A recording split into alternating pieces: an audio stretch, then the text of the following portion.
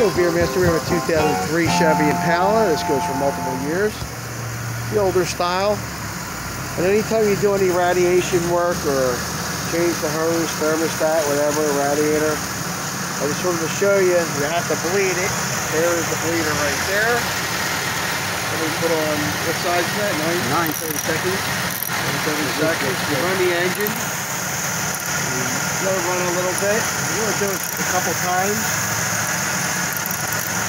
We've already done it once. And let it, you see it run. And you see the water running out. And you don't want it to come back. See the water coming out, that means it's good. And it's steady.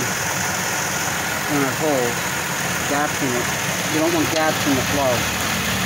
That means it's basically full. And you do it a couple times. Because sometimes there's air gaps under somewhere.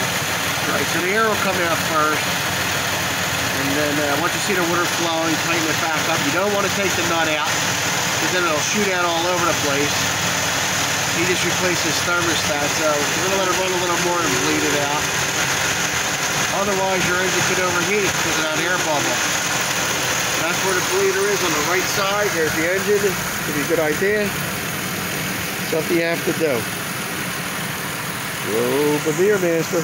Thanks for watching. Thank you.